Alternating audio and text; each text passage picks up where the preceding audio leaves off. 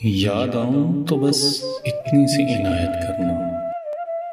अपने बदले हुए लहजे की वजाहत करना।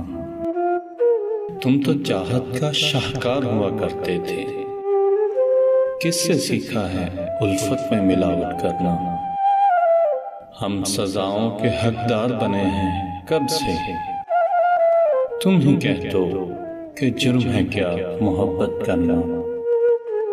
तेरी फुरकत में ये आँखें अभी तक नम है। कभी आना मेरी आँखों की जयारत करना।